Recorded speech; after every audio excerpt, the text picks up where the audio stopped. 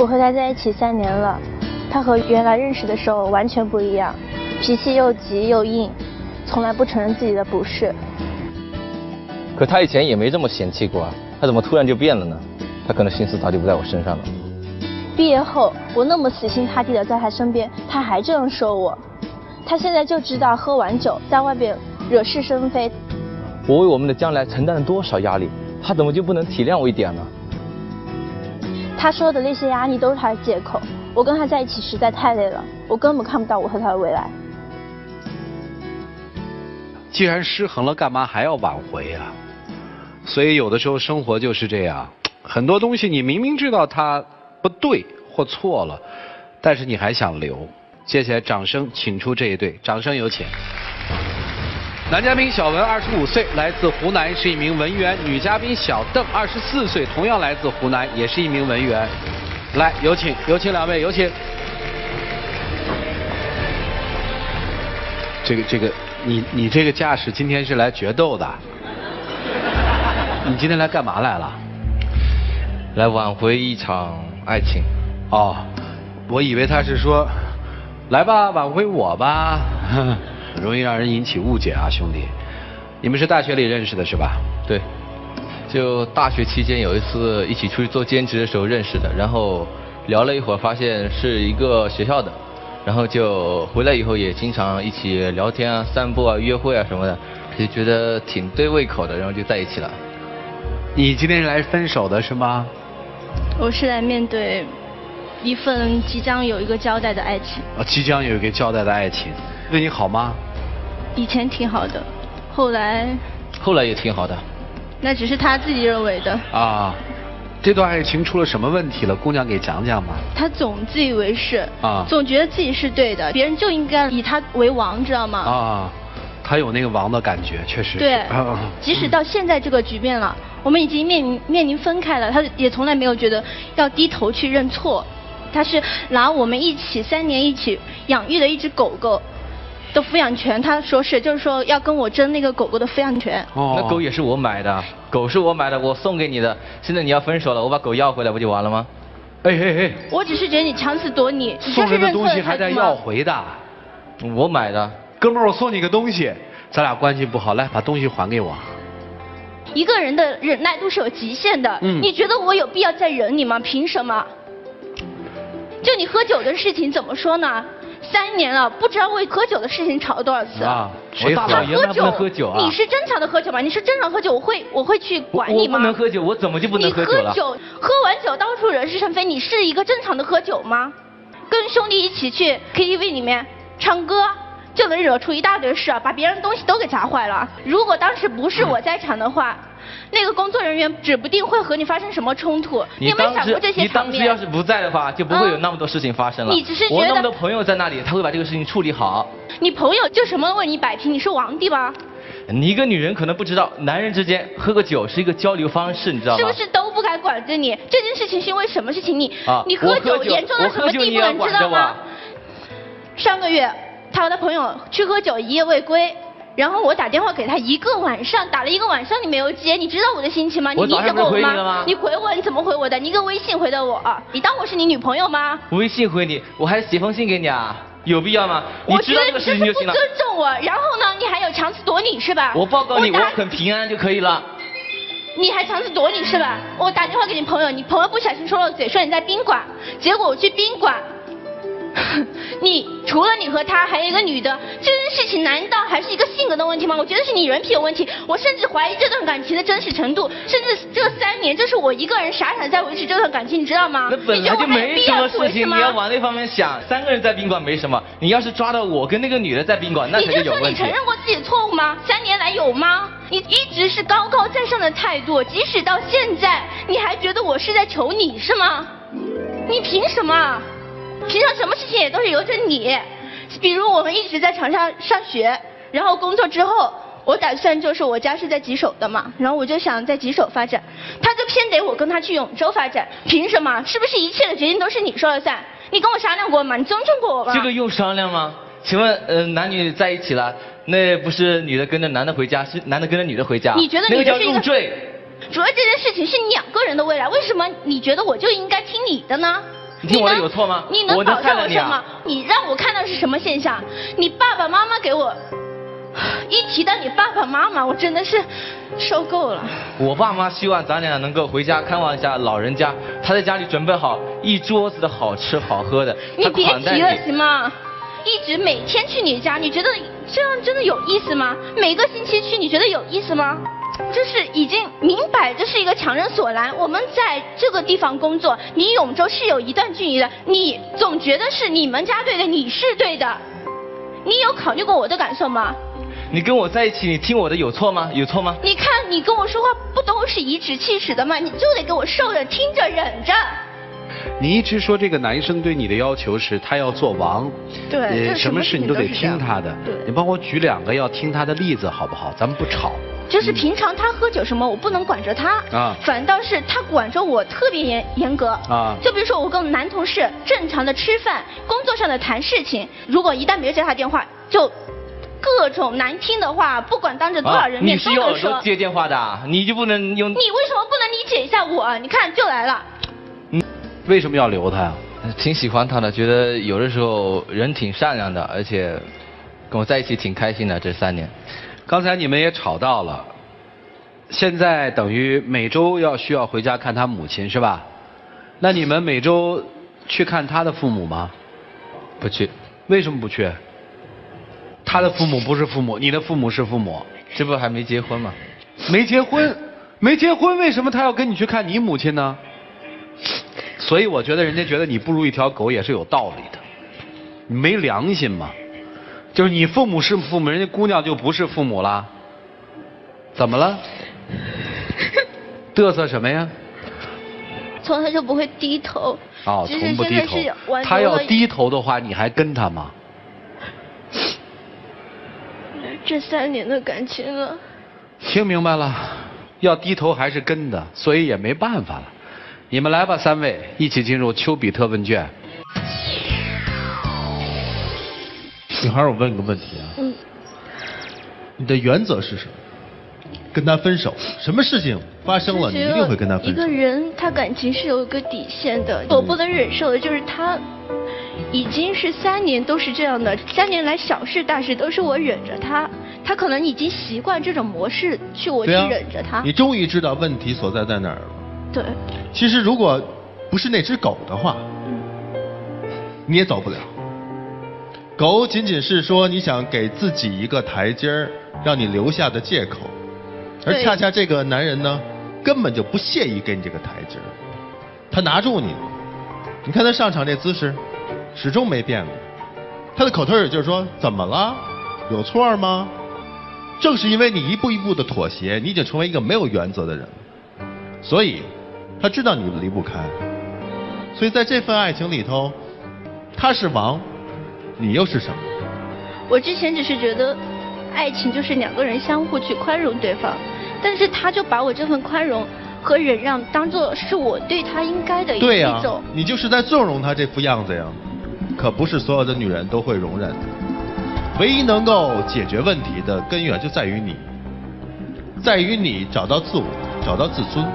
如果你自己都不尊重自己的话，别人拿什么来尊重你啊？你现在可以跟他说分手，离开他，你看他怎么样？如果他能低下他那高昂的头，不要做出那种一切都不屑的那种表情，还有可能。如果没有，趁早走，否则你们之间不是爱情，他就是王，你不是王后，你是被他统治的奴隶。男孩，你的这种所谓的高高在上，只是在他身上能够体现而已。为什么都要听你的呀？为什么只去你的父母家，不去人家家？平等吗？你太欺负人了。你要真爱他的话，你让他做回王后，你看看他会给你什么？绝不像你这样。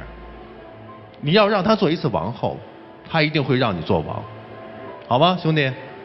听我一句劝，你试试，得到的一定是你想象不到的那那种幸福感。男生，我问你个直白的，其实你并没有，你表现出来这么有自信，对吧？对，我觉得通常过度的霸道都源自于自卑。你一开始出来虚张声势的战法，跟你从头到尾呢都手抱在胸前的防卫姿态，那是你的一个武装方式。如果你不这样做，你就没有办法做王。在你们的关系里面，我并不认为有台面上我们看起来的你这么吃得住他。如果你真的对这段感情这么有信心，才不会拿一只狗做威胁呢。你要走，我就把这只狗带走。你自己会不会觉得很可笑？这个做法，这怎么叫做大丈夫呢？在男人的世界，我非常理解，充满了各种真境。你为什么得去喝酒呢？因为你的事业上一定有很多要拼杀的，你知道吗？你眼中的这个王，他在外边也是要伺候别人的，他并没有办法在这个世界上都做王。对他除了你们家其实他是得伺候别人的，所以有时候他也不是自己甘愿去喝酒的，有的时候他必须得去喝，为什么呢？因为有比他更大的王叫他去喝。你只不过是在你的爱情世界里面，硬要演这个王，以平衡一下你在外面没有办法做王的这个失落感。真正强大的男人，不是靠大声跟霸气说听我的就对了，就是跟着我走，不是这样的。真正厉害强大的男人是，我保护你。很多时候，甚至我是可以让你的，可以让着女人的男人才是大男人。你要留住他，恐怕不是掐着狗的脖子，你要留住他，是去倾听他的心声，尊重他的感受，这才叫做爱情的王道。你是真的想做王吗？就想管着他吧。哦，我告诉你，最近有一个电视剧，里面有一个人物，特别像，他真的是一个王，但看上去也特别像一个油头粉面的痞子无赖。他的名字叫淫荡，他有显赫的家世，他也有健壮的外表，甚至他也有江山社稷，但是行为像个痞子。我想问一下，你有什么呀？你没有健壮的体魄，对吧？你也没有显赫的家世，对吧？你也没有非凡的才华，对吧？更没有宽宏的度量，对吧？你做什么王呢？你说呢？对，他虚张声势，叉着个腰，半箱啤酒连我都喝不过。你呢？不光不是个王后，连一个应试都不如。但你为什么要把自己降到这么低的一个身份呢？我就是觉得爱情里面没有尊卑，我觉得以一颗心去对待另一颗心，就能换回一颗真心。一个男人，不要看平时他可能有的时候会会对你一点好，但是不管怎么对你好，婚姻的基础是尊重。我们有些女人老是搞不懂这一点，就百般伤害你之后吧，哎呀，我觉得他有的时候对我还是挺好的。如果连一个基本的尊重都没有，再多的柔情蜜意，再多的呵护和甜言蜜语，那都是假象。所以我建议你重新寻找新的生活，想回几手就回几手。你看看，当你拔腿又走之后，这个王会变成一个什么样的状态？有的时候太把自己埋汰了，不光是助长对方的威风，反而倒让自己再也认不清楚自己。人的头是慢慢慢慢的低下来的，一开始很有自信，逐渐逐渐，天天被他打压之后，你自己都觉得自己卑贱。所以你为什么不出去看一看，好好的审视审视自己？也正好让这个家伙自己去照照镜子，看看自己有几斤几两呢？如果你还尊重自己，就离开；如果你还有那么一点爱他，或者是怜悯他，也让他重新发现自我，去成长。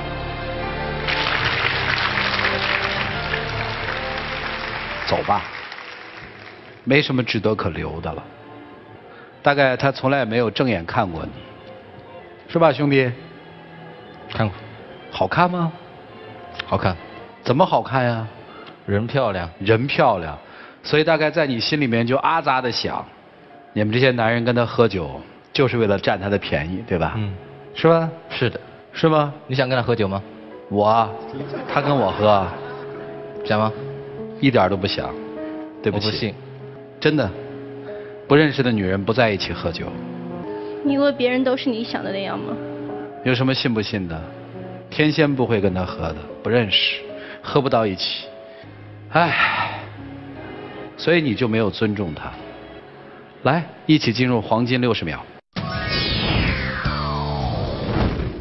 我看过一个故事，是这样子的：一个男生第一次不会为一个女生在他吃饭之前 给他拉开凳子，当他第二个女朋友的时候，他已经学会了拉开凳子，但陪在他身边的不是那个女生了。爱情本来就是一个前人栽树后人乘凉的事。我真的不后悔这三年跟你待在一起，我只希望。即使以后陪在你身边的人不是我，我希望你能把从这份爱情里面的一个教训带在下一份爱情里面，至少对他好。可能把我的想法强加到你身上，本来就是一些我个人的一些狭隘的想法。我希望能给我一次机会。哼，回吧，两位，谢谢啊。哎，对了，有一件事要问你，就是今天一旦分手了，狗给不给人家？既然人家决定一定要走了，他肯定做好了打算，不要这个狗的。你给不给？我肯定会给他。肯定给啊，姑娘，不管结果，狗都是你的啦。请回吧，王，谢谢啊，来，请关门，来吧。近段广告，要旅游找途牛，途牛旅游提醒您：节目首播期间打开途牛 APP，赢百元现金券，更有火车票、机票、酒店优惠券领不停。好啦，最后我们来看一下他们自己的选择结果吧，请开门。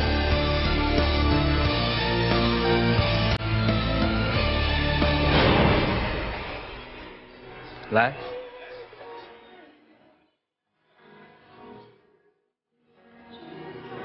还有话跟他说吗？嗯。哎呀，低个头有啥呀？嗯，觉得挺可惜的。不过我觉得他可能下去以后还是会联系我的。哼，走吧。